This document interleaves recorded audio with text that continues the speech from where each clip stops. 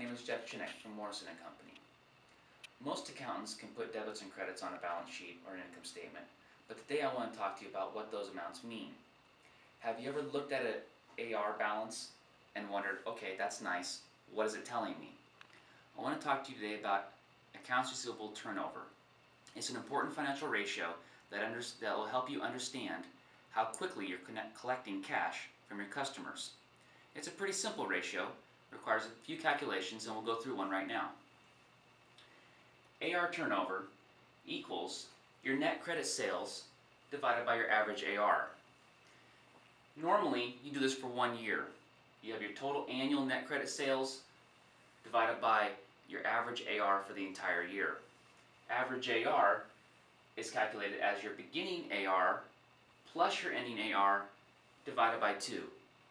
So if you had a, an, a calendar fiscal year, you take your January 1st AR plus your December 31st AR and divide by 2.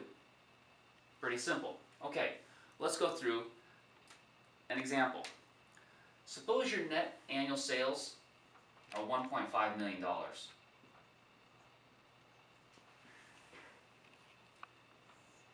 And suppose your beginning AR is $175,000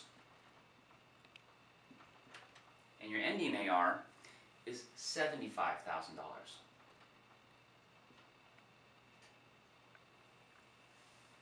Your average here is one and a quarter or $125,000.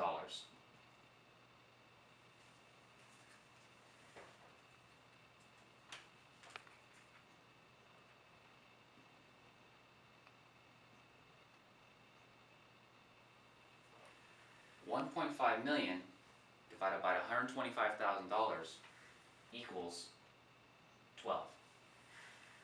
That means if this, if this was your company, your AR will be turning over 12 times during the year.